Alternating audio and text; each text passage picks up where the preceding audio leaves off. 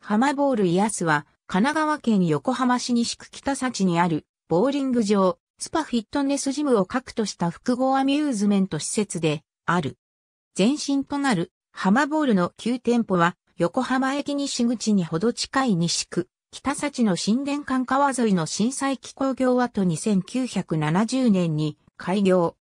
地上3階建てで56レーンのボーリング場、スケートリンクアーチェリー場、ビリヤードバッティングセンターカラオケ店などを備えた施設であった。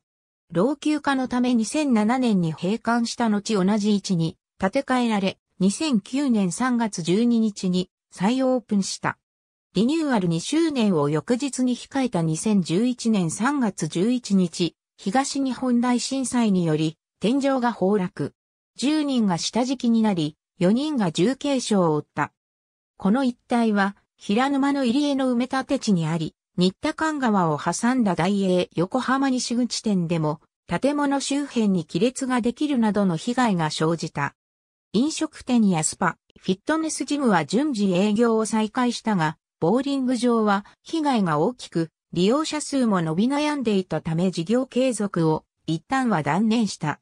しかし復活を望む声が多数寄せられたことから、親会社の三つ鱗は浜ボールの再開を決定。規模を縮小した上で、2012年12月15日に営業を再開した。鉄骨構造地上8階建てで、下記のボーリング場とスパのほか、フィットネスジム、ティップネスやカラオケ店、パセラ、飲食店、ドコモショップなどが入る。事業協力として、三菱地所及び三菱商事が関わっている。ハマボールイアスの名称は、イアス、イージー、エンターテイメントスポーツ、スパの意味が込められている。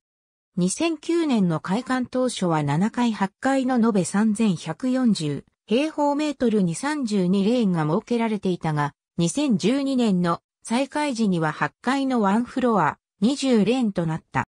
SPA イーズは4階から7階にかけての延べ6600平方メートルに開設された18歳以上を対象とした温浴施設。東京ドームシティ内のラクーアが初めてプロデュースを手掛けた施設で、当地で掘削した天然温泉を使用している。SPA イーズに関するカテゴリー。ありがとうございます。